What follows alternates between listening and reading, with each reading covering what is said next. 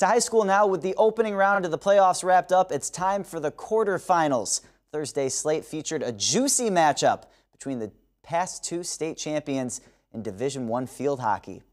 To Munson Field we go. Third-seeded South Burlington Wolves playing host to the upset-minded six-seed Bellows Falls. First half, Terriers knocking on the door of putting home a goal, but they can't convert. First, cross sails wide. Then minutes later, Ashlyn Maxfield nearly redirects it home, but her shot misses the mark. We're still scoreless.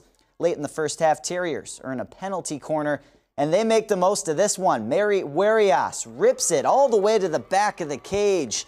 Bellows Falls takes a 2-0 lead into the halftime break. Second half, Wolves looking to climb back into this thing. Danielle Sleeman takes the shot, but it's redirected safely out of bounds by a Bellows Falls defender. Minutes later, South Burlington continues to attack, but again, the Wolves can't find the back of the cage. They leave empty-handed. Bellows Falls leaves with the win. The Terriers upset the Wolves. They're on to the state semifinals.